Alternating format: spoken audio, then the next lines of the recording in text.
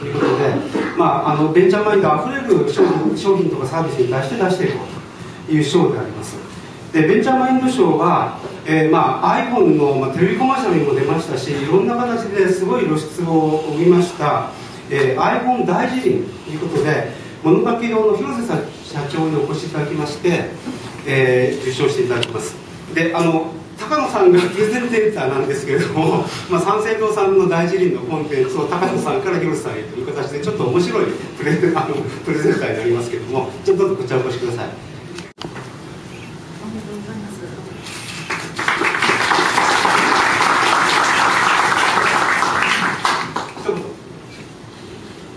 ありがとうございます、えー、ベンチャーということでは設立してまだ2年に満たない若い会社ですが、このような名誉な賞をいただいたことを大変、えー、誇りに思います。ありがとうございます。えー、大事にですが、まあ、今ご紹介になりました通り、えー、テレビコマーシャルですね、アップルのテレビコマーシャルで、日本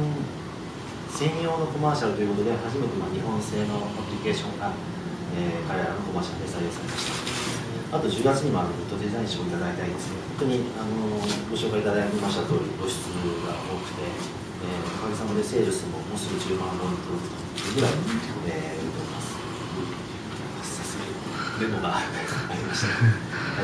はい、あの大事にはですね、えー、もともと私あの Mac のエンジニアでして、えーまあ、マッキントッシュのアプリケーションをずっと10年以上作ってきました。で、まあ、iPhone が出るということで、まあ、ようやくこれまでの電子辞書の場合ですと仕様が決まっていて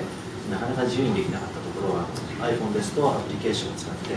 コンテンツに最適化したものを作り出せるという、そういうチャンスが見えてきました。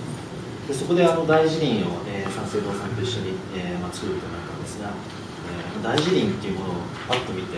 こう重さ3キロあるんですね。でページ数も3000ページ以上あってでただ検索するっていうコンピューター特有のこと、まあ、検索するっていうことだけにしてしまうと、まあ、他の電子辞書ですとかネットの、えー、検索ほとんど変わらないでもこの辞書ってもっと魅力があるはずだよなっていうふうに考えてこのダービン大臣の、えー、iPhone アプリケーションを作りました。でも魅力っていうのはやっぱり、えー、とにかくひたすら言葉を集めてそれを蓄積してずっと続けてきている。まあ、そういう職人さんの仕事みたいなものをいかにコンピューターの世界で表現するか。で、え私は、えー、平井のを使った縦書きの表示ですとか、えーまあ、美しいレイアウト。であとインデックスっていうのを使って、えー、全ての言葉を眺めることができる。で普通に検索すると調べる調べた言葉しか、えー、見ることができないですね、えー、ですけどインデックスっていうのを使うと、え、25万項目あるんです25万項目全部を眺めることができる。そうするとおそらくえ、皆さん、え、こちらにいらっしゃる方は言葉に関してとても詳しい方だと思うんですがそれでも半分も正しい意味っていうのをパッと言えないんじゃないかなと思います。一般の方ならなおさらでこの言葉こんな言葉があったんだとかこんな意味だったんだとか一体この言葉は何だろうとか何て読むんだろうとかとにかく眺めてるだけでいろんな疑問が出てきて知的好奇心が、え、刺激されるとそんなふうに、えー、作りました、まあ、それがあのたくさんの方に受け入れられて、えーまあ、このような賞までいただ当に、えー、良かったなとそんなふうに思います。でこれからもですね、えー、そういった形でコンテンツ本質っていうのを捉えてそれをいかに表現していくそんなことにチャレンジしていきたいと思います、えー、これからもどうぞよろしくお願いします。